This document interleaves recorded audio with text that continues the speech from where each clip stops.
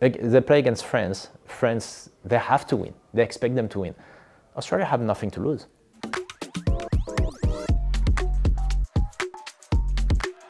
In four years ago, I was on the plane actually watching the game against France, and they missed. They actually did really well. Uh, they could have got. They should have actually probably got a draw. In terms of quality, they're, nah, they're not on on their level. They're not on that level or something. They obviously qualified. I think people didn't expect them to, to get qualified, so you gotta give them respect for that.